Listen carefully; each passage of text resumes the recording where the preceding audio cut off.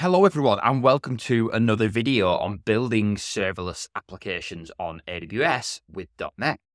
In this video, we're going to have another look at AWS Runner. In last week's video, we just took a really simple container image from the ECR public gallery and deployed that to an App Runner service. So in this video, let's have a look how you can actually deploy your .NET applications to AWS App Runner. And to do that, I've actually created a brand new web API. This is just using the, the, the .NET new web API, and we've got the weather forecast controller that I'm sure we are all familiar with by now that allows us to get some random weather forecasts.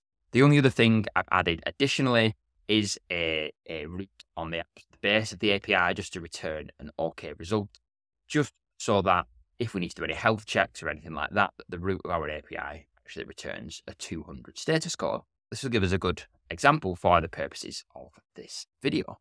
So what changes do we need to make to our application stack now? So if you remember from the last video, and if you haven't seen that, I'll pop a link in the description. We've got a couple of IAM roles, both for our application to assume. So this was where you would give permissions to things like DynamoDB, SQS, SNS, etc. We've got the role that AppRunner is going to use to build our application. So in this instance, we'll need to give this role permissions to an ECR repository. Then we've got the subnets that we're going to deploy the application into, and then of course the actual service itself. So there's a couple of things we're going to need to do here to actually deploy this application. And the first is we're going to need to create a ECR repository. Now I've got some lines of code on my other screen that I'm just going to copy over so you don't have to work me time. The first is we're going to create a ECR repository. Create, there we are, ECR. We're going to create a new Elastic Container Registry repository. We're going to set this up, call run an ECR repo. We want to make sure that our tags are immutable and that we scan our images on push. Of course, we want these images to be secure. And then with the beauties of the AWS CDK, I can just say application code repository grant pull Remember, ECR only needs to be able to pull these images. It doesn't need to be able to push them. Grant pull, and I want to grant the pull to my ECR access role. So now this role that AppRunner is going to assume on build now has access to be able to pull images from our ECR repository. And the next thing we need to do is actually update this source section here. So previously we were saying that we source our image from the ECR public gallery. Well, actually, now we want to source this just from ECR. And that means that we need to set some ECR props, not ECR public props. And these properties are slightly different because we're now deploying a private ECR. So the first thing we need to do is pass in our repository, and that can just be our application code repository. And then we have that same image configuration option that we had in the last video, and my .NET application is actually going to run on port 8080. So I'm going to say that when runner is health checking and it's looking to route traffic to my actual container, do that on port 8080. And then I need to pass in a tag. If I don't pass in a tag, it'll just be the latest. I'm actually just going to hard code to latest just for the purposes of making this really explicit. And that's the only change we actually need to make to our service. So what I've done here is we've created a ECR repository top here, and then we've given our application access role, our build role, sorry, access to our application code repository. And then we've simply changed our app runner service instead of sourcing from ECR public, that is now sourcing from ECR itself. And we're passing in our application code repository, the port that our application is going to run on, in this case 8080, and the fact we want to use the latest tag from ECR. The other really interesting feature you can set with AppRunner is this auto deployments enabled.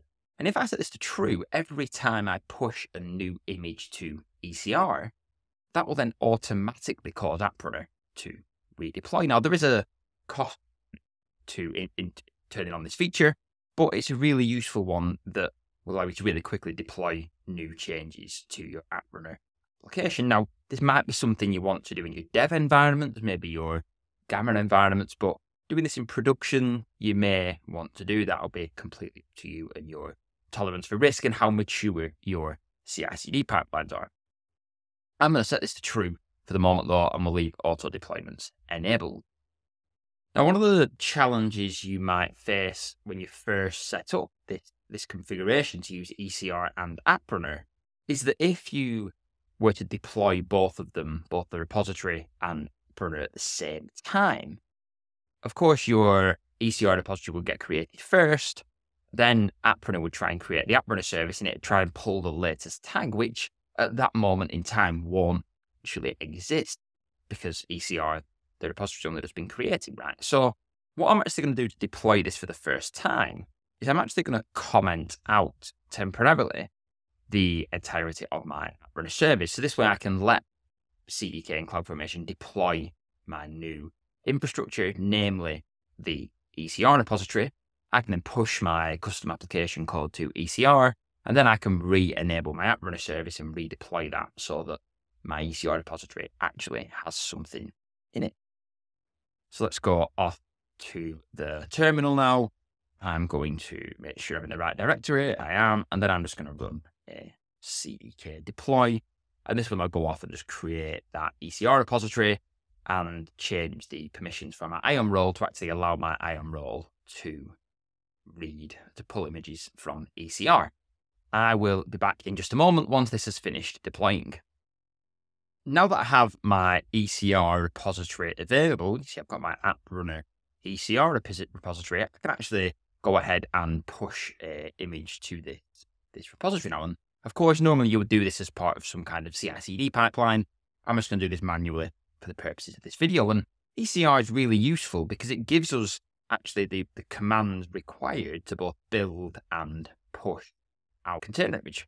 If I go back to my terminal window, copying that first command, I can run my ECR login, and this is actually going to log me into my ECR repository. Excellent. Command one done. Then I need to actually build my Docker image. And if we just go back to Rider for a moment, and if we look at my actual API code, I've got a pretty simple Docker file here. I'm actually using the preview version of .NET 8 only because I ran a .NET new and I've got .NET 8 installed. So I'm actually going to build this against the .NET 8 preview Alpine, just to keep it nice and small. That's why I use Alpine. So if we go back to the terminal now and navigate to that folder, which is think under Runner API, there we are. I can now run my Docker build command, and this is going to go off and build that Docker image using the configuration defined in my Docker file. Okay, my Docker image has finished building now. So let's go and grab the next command where I'm just going to tag my Docker image with the right tag for my ECR repository and to be the latest version. And then I'm going to push that to ECR, and that's going to push that newly built image up to my ECR repository. While that's just doing that, let's flick back into Rider, and we'll actually just uncomment the, the app runner service because we're now going to have that latest tag available in the ECR repository. So we can now redeploy our application with the CDK and actually deploy our app runner service. So let's go back to the terminal now. Now that that has completed and pushed, I can go back up to the folder that has my CDK file in and just run a CDK deploy. Now remember all of the other infrastructure, the network, the repository, that's already deployed. So all this CDK deploy is going to do is just deploy our runner service. Now this can take a couple of minutes, especially on the first deploy. So I'll be back in just a moment and we'll have a look at our deployed .NET application. That has finished deploying now. Let's flick over to the AWS console and we can see we've got our runner service there waiting and ready to go.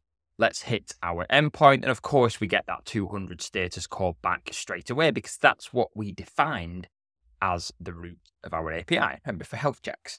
Now let's access our weather forecast endpoint. If I could spell forecast correctly, there we are, and we get our weather forecast. If I hit refresh a few times, you see we've got that consistent and good performance that we expect from running .NET. That is just how easy it is to get started using AWS App Runner for your .NET applications, all you need to do is create that Docker file, push that to Amazon ECR, and the rest is good to go. Now you've got production ready scale applications running in a completely serverless way.